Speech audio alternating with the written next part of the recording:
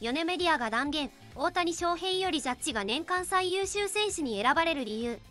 ヤンキースのアーロン・ジャッジ選手は2024年シーズンで58本塁打を記録しドジャースの大谷翔平選手を上回る成績を収めています。ESPN のポール・ヘンベキデス氏はジャッジのパフォーマンスを MLB の歴史上トップ10の一つと評価し最優秀選手に推しています。みんなの反応。野球って結果が数字で見えるからいろんな比較ができて面白いよね。薬物問題でボンズや捜査の記録がなかったことにされてるけど実際にはボンズのすごい攻撃記録が残ってる。当時は薬物検査がなかったからルール的には OK だったんだよね。でも大谷選手の5457は薬物使っても誰も達成できなかった記録なんだ。こんな話を飲みながらするのが野球の醍醐味だよね。ジャッジは大きな体を生かして多少芯を外してもホームランにできるパワーがある。ヤンキースタジアムの狭さも手伝って外野フライかと思うあたりでもホームランになることが多い。一方大谷は打った瞬間にホームランとわかるような強烈な打球が多い。ドジャースタジアムで54本持つには平均飛距離が相当高くないと難しい。個人的には打球速度と飛距離でジャッジを上回る大家の方が真のホームラン王だと思う。ジャッジは MLB の歴史上でも攻撃面でトップ10のシーズンを送っていると言われていますが同じくらいの成績を残した選手は他に何人いるということですよね。この人の言っていること矛盾していませんか？取らせたくないという感情が見えます。人気スポーツにはスーパースターがいて盛り上げています。大谷とジャッジ。どちらがすごいかの議論はファンやメディアの見方で変わりそれ自体が楽しいです。MLB の人気向上に貢献しています。バロンドール賞のように1人だけを選ぶ方法もありますがナ・リーグとア・リーグで2人の MVP を選ぶ今のシステムは歴史があり良いと思います。個人的には50年後や100年後に語り継がれるのはジャッジの成績ではなく大谷の偉業だと思います。20年後から見たらジャッジさんも大谷さんもどっちもすごい選手で同じ時代に競い合ってたのを見れて羨ましいって思うよね。ジャッジはホームラン王大谷は二刀流で歴史に名を残してほしいな。ジャッジの打者としての成績はすごいね。もしジャッジが三冠王を逃して大谷が取ったらどうなるんだろう。22年にジャッジが三冠王を得ると思って MVP 票を決めたけど結局取らなかったってコメントした投票者がいたんだよね。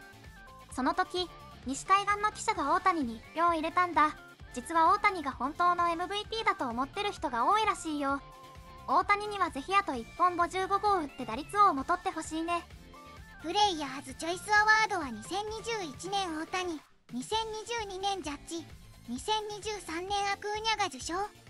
歴史的なシーズンを送った選手が続いているので今年も大谷が選ばれる気がします。ナ・リーグの打撃成績が低いのはスタジアムやピッチャーの影響かも。同じ条件じゃないから比較は難しいけどア・リーグの本塁打数でジャッジと大谷の割合を比べたり打率を偏差値で見る方法もあるね。この発言は根拠が曖昧で情緒的だね。ジャッジも大谷も素晴らしい結果を出してるし比べる必要ないと思うよ。アメリカにはまだ人種差別が残ってて日本人が正当に評価されにくいのが現状なんだ。大谷選手があれだけの成績を残しても色々言われるのは悲しいね。昨年も MVP はクーニャだと言われてたけど肘手術のリハビリシーズンで大谷がそれを上回るとは誰も思わなかったよね。二刀流じゃないと MVP は取れないっていう人もいたけど大谷は毎年進化してその意見を覆してきた。来年の大谷がどう進化するのか今から楽しみで仕方ないよ。プレイヤーズチョイスでどっちが選ばれるか楽しみだね。WS 優勝したチームの活躍した選手が選ばれるんだろうけどジャッジ選手もすごいから大谷選手一よとは言えないよね。ジャッジ選手のホームラン数や OPS は驚異的だし大谷選手の成績もゲームみたいだけどジャッジ選手のセンター守備も考えると難しいよね。でもジャッジ選手の成績は常識の延長にあるからプレイヤーズチョイスでは大谷選手が選ばれる気がするな。ジャッジと大谷どっちもすごい活躍だよね。ジャッジは三冠の数値が大谷を超えてるから評価高いのも納得。でも安打数や二塁打数三塁打数塁打数得点。盗塁は大谷が上なんだよね。三冠以外でも四球四球出塁率長打率 OPS 得点圏打率はジャッジが上回ってる。ただ大谷が3クラウン5555盗塁は達成済みで本塁打と1を達成したら両リーグの MVP になってもいいと思う。あと2試合で本塁打1本以上とアラエスの打率314を逆転するのに期待してるよ。やっぱり大谷が面白いんだよね。ホームランたくさん打つ選手はこれまでもいたけど大谷は5050という前例のないことを成し遂げた。新しい歴史を見てる感じがするんだ。ルースの豪快な本塁打はジャッジでも大谷でも見れるけど大谷は塁に出たら果敢に走る姿も見れる。さらにチームを牽引する姿も魅力的。怪我人が多い中で1人だけ覚醒して優勝に導いた。ジャッジには外がいるし投手陣も揃ってるけど大谷の大事な場面での覚醒はスターたるゆえん。だから見たいのは大谷なんだよね。なるほどね。大谷がリハビリ中でも素晴らしい成績を残してる中でオズナやリンドーアも対抗馬として注目されてるんだね。打率争いのアラエスやリーグをまたいでのジャッジも話題になってるし偉大な選手はいつの時代も比較されるもんだよね。大谷の活躍で他の優れた選手も注目されて MLB 全体が盛り上がるのはいいことだよ。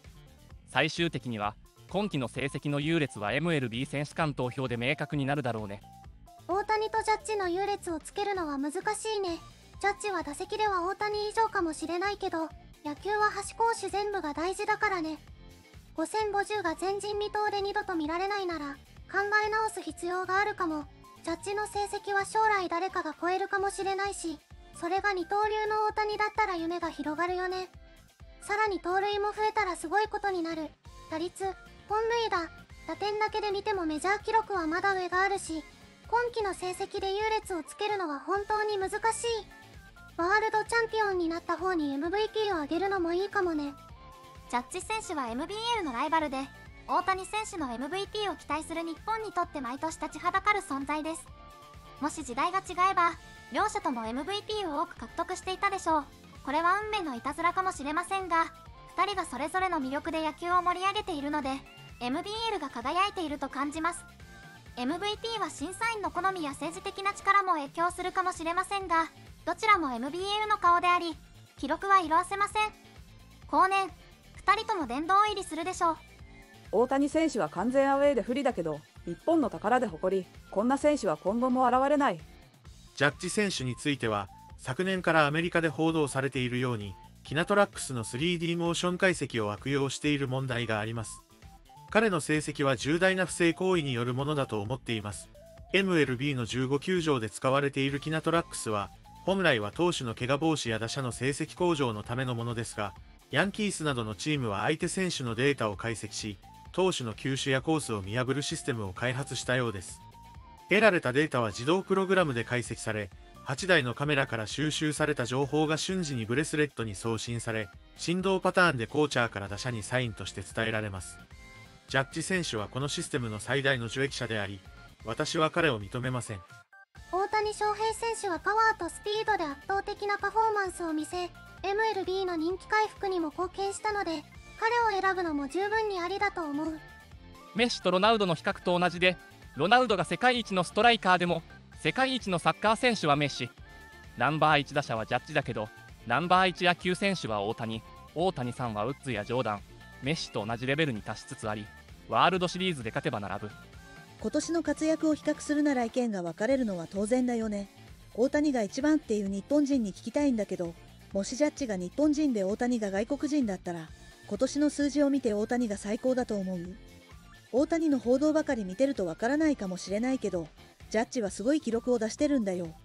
私なら国関係なく数字とか総合的に見てジャッジが最高だと思うな。でも史上最高の野球選手なら大谷がダントツだね。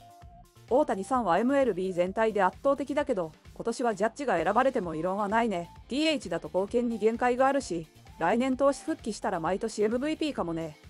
ジャッジの今季の打撃成績はすごいけど過去最高ではない。ホームランや打点 OPS の記録は他の選手が上回っている。一方大谷の5050はメジャー史上初で前人未到の記録これこそ最も価値のある選手と言える。ただ価値の測り方は人それぞれでジャッジを最高選手だと考える人の意見も尊重します。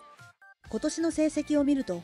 大谷は投手をしていないから二刀流ではなく DH 戦の野手だね。怪我の影響があったら野手としてもすぐには出てなかったはずだから、リハビリは関係ない。ヤンキースも強いけど、今年の打者成績ではドジャースの方がいい。ジャッジは去年までの大谷のように勝負を避けられながらも成績を出していて、守備もしている。だから、打撃指標で優位なジャッジの評価が大谷より高いのも納得できるよ。大谷選手のストーリーを考えると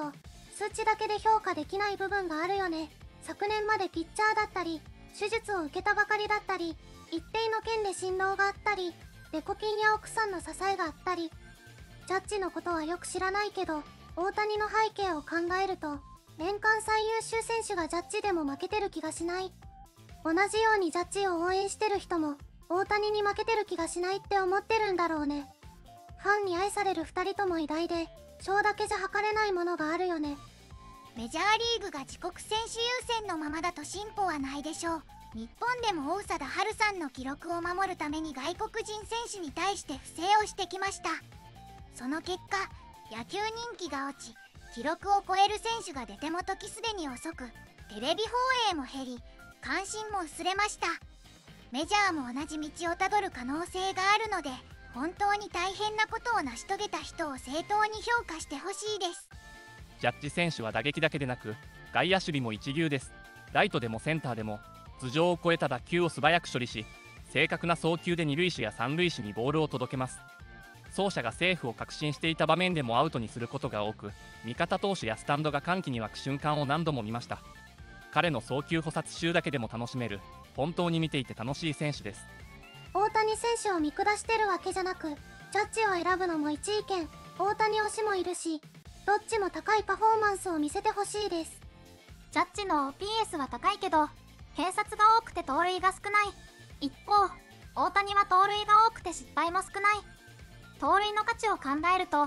2人の差はわずかだと思う大谷の走塁能力は今年特にすごい